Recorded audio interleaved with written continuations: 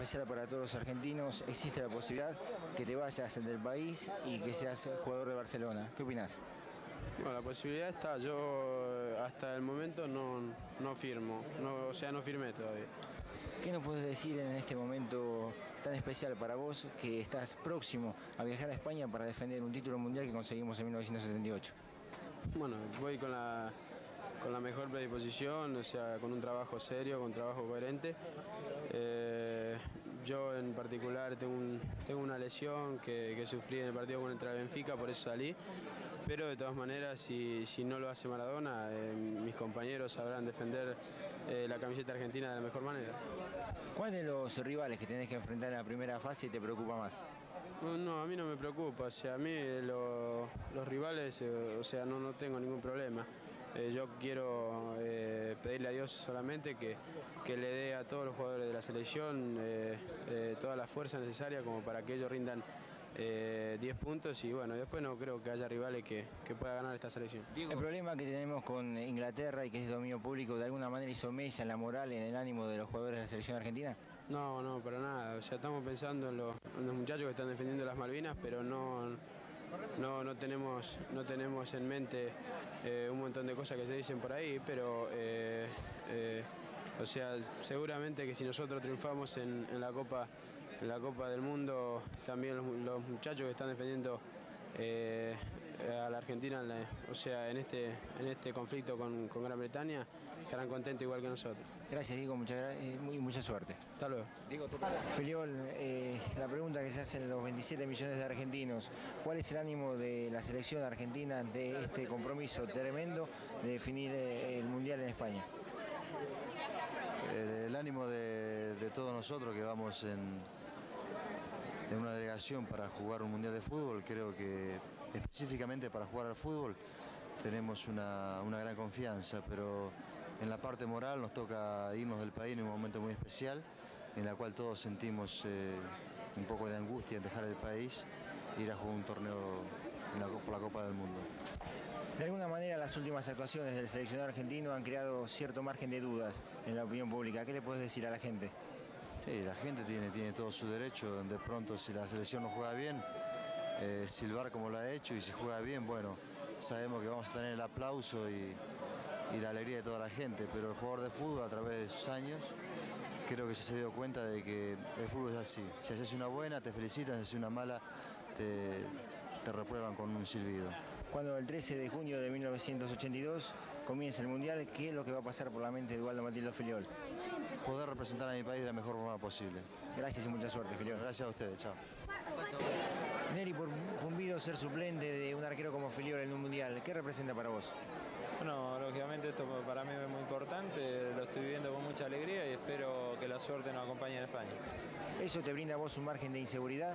¿Saber lo que va a pasar en cuanto a tu titularidad? No, no, yo sigo trabajando siempre igual, tengo la suerte de estar con dos grandes arqueros como es Filiol y Valle y por eso uno se siente bien respaldado y muy contento porque yo creo que voy a, a quedar mucha experiencia en este, en este mundial, así que para mí va a ser muy importante. Pumbido, los silbidos y la reprobación del público después del partido contra Benfica, ¿hicieron mechas en el ánimo de la selección argentina? No, yo eso lo veo muy mal porque era una despedida para un mundial, no era para despedirse para ir a jugar partido amistoso. Yo creo que la gente se hubiese comportado un poquito distinta, eh, aunque la selección tal vez no jugó bien, pero la despedida era muy importante para toda la, la, selección, pero yo creo que todos los muchachos están muy bien de todo el plantel, así que vamos a tratar de traer de España, yo creo la Copa nuevamente y para lógicamente alegría de todos los argentinos. Gracias y suerte. No, gracias a vos. Sí, sí. Daniel Bertoni, de alguna manera fuiste el hombre que recientemente se incorporó a la selección. ¿Cómo vive el clima de Europa previo a este Mundial? Y lo viven con mucha alegría, pero en este momento también un poco de tristeza, porque te darás cuenta que el mundo está pensando en este problema y esta lucha que entre argentinos y ingleses, ¿no es cierto? Vos estuviste en Italia, un país que está próximo a España. ¿De alguna manera el conflicto que mantenemos con Inglaterra puede ayudar para que Argentina sea algo así como la niña mimada en este Mundial 82? Yo pienso que todos van a apoyar a Argentina porque saben que Argentina como, pa como país y como en lo, en lo deportivo es uno de los países más importantes y pienso que lo van a apoyar porque saben que Argentina, cuando viene cualquier país aquí, siempre lo atendimos bien y lo apoyamos en todo momento. Apelando a tu sinceridad, ¿Daniel Bertoni puede ser el mismo que en el 78? Sí, cómo no. Lo que pasa es que por un partido no se puede decir todo. Pienso que mm, tampoco se puede decir que la selección no tenga chance. ¿Por qué? Porque jugamos un partido mal todo el equipo, no. Yo pienso que la selección va a dar que hablar cuando sea por dos puntos. Bertoni, gracias y mucha suerte. Chao, gracias.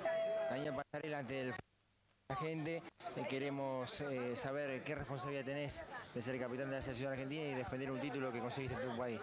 La responsabilidad es de eh, dejar nuevamente bien sentado el prestigio del fútbol argentino. Estamos con, muy tranquilos porque hemos entrenado a conciencia y esperamos que el equipo rinda normalmente. De alguna manera sé que en el ánimo y en la moral de todos los argentinos está la preocupación de saber cómo vamos a terminar este gran eh, conflicto que tenemos con Inglaterra. ¿Eso ha menoscabado a la selección argentina?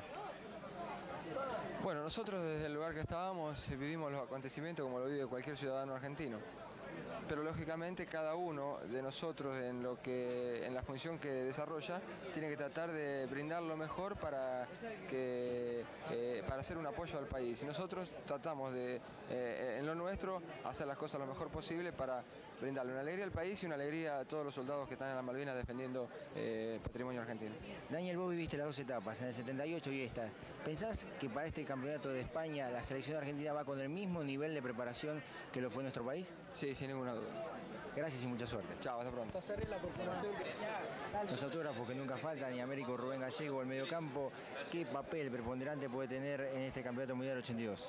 pienso que lo más importante que puede tener Argentina en el primer encuentro. Pienso que se va a manejar todo en el medio campo porque Bélgica va a hacer este, mucha fuerza en el medio campo. Por supuesto que descartando nuestro país, ¿qué otras delegaciones pensás que pueden llegar a las instancias decisivas del Mundial de España? No, pienso que Alemania y Brasil. ¿Qué país te gustaría enfrentar en la final? No, me da este, cualquiera que sea el resultado, me da cualquiera, no sé, pero yo pienso que Alemania me gustaría enfrentar.